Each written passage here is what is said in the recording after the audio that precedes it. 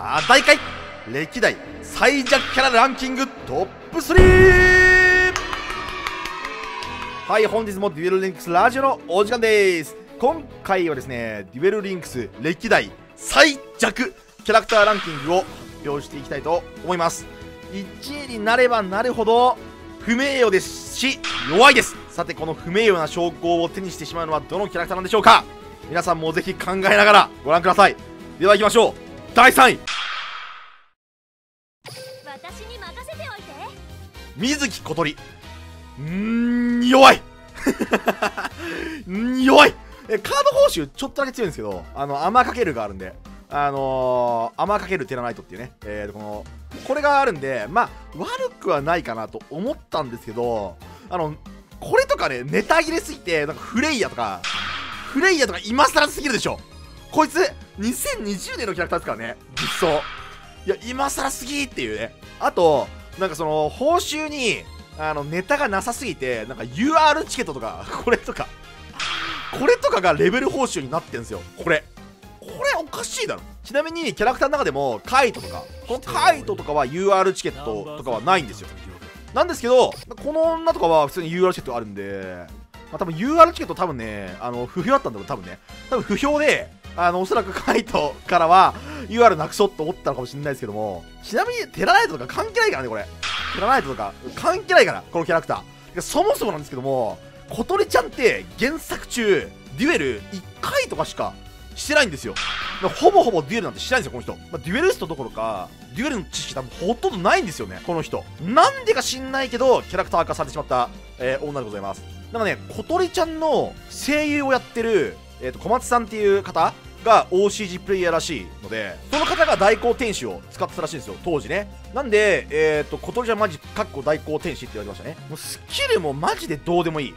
もう、あの、見ていただいたらわかるけど、掘ってないんですよ、もう。スキル掘ってねえっていうね、あの、めんどくさくて。まあ、唯一レベル上昇とかが使えますけど、まだ。でも、はい、デュエル飯よとかさ、これタックデュエルでのみ使用できるとか、もうふざけてんのかっていうね。タックデュエル機能そもそもまだねえじゃねえか、リンクスにっていうね。いやもうカードもネタ切れであれば、スキルもネタ切れっていうね。固有スキル、マジで使える、使えそうなスキル、ないんですよ。本当に。こ れとか。あー、なんか、総じて誰からも使われてないな。まあ、たまにオーバーレイゲインでね、使ってる人いますけど、小鳥ちゃん、可愛いから。ポーズだけは可愛いんでセーフ。さあ、続きまして、第2位の発表です。第2位はこちら。俺に任せろ武田鉄男。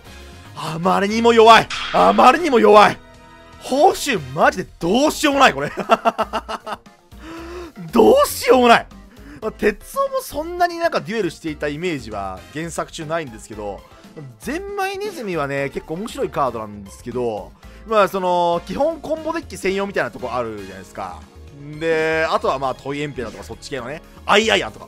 もうなんかアイアイアンサポートみたいなスキル持ってるからね、こいつ。汎用スキルどれだろうなまあ多分ね、レベル上昇とかくらいかなまあだから、あのー、あれか、超獣武者とかくらいかな、使いこなせるとしても、アイアイアイアンとかね、自分が元々のカード名がアイアイアンの効果を発動したターンに、え自分のフィールド上のアイアイアン1体の攻撃力を400アップするっていう。ふざけてんのかっていう。これさすがにふざけたでしょ、これ作るとき。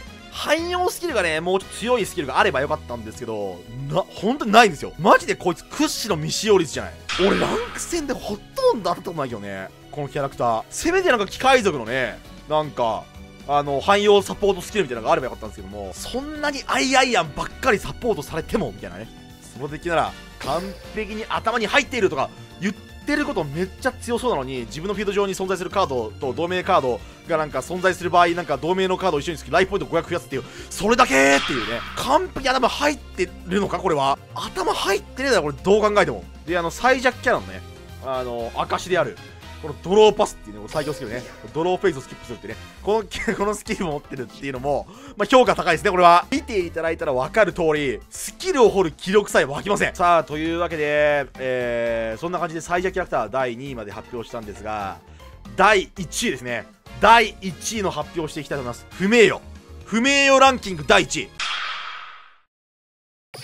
俺に勝てると思ってんのか？というわけでね、くだらぎくん。報酬にさバニラカード入れるのやめてくれる？じゃああのレベル報酬に。2020年のキャラクターあ2019か。2019年にもなって新キャラクターの報酬にバニラカード混ぜるのやめろマジで。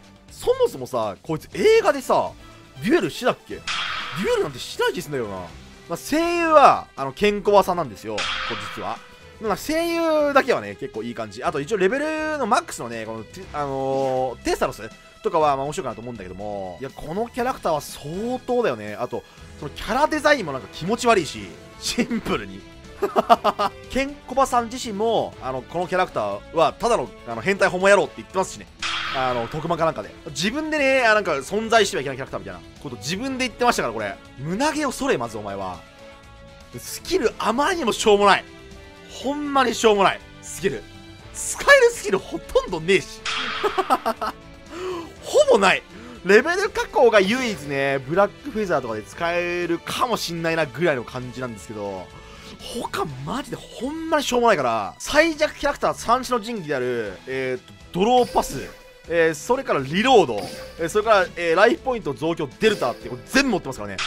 全て持ってます。多分ねこのキャラクターのスキル考えたやつマジで適当に考えてて会議中の悪ふざけで、あのー、完成したキャラクターだと思いますわ。こいつは。キャラクターへの愛みたいなのちょっと感じないもんね。固有スキルとかもう見てらんねえもんな。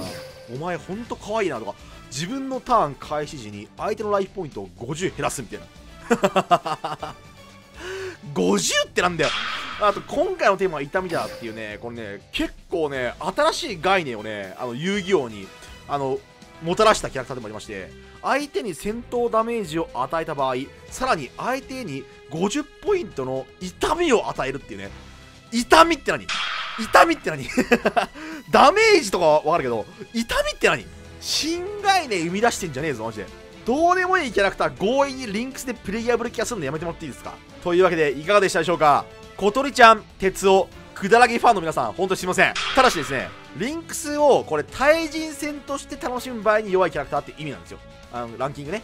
なんでキャラクターへの愛っていうのはあの自分が持っていれば関係ないと思うんで不名誉に負けずにねこれからもちょっとあの使い続けていただければなというふうに思っております。せめて新規キャラクター実装するときには汎用スキル使えるスキル1個ぐらいは入れよう。それではまた次の動画でお会いしましょう。バイバイ。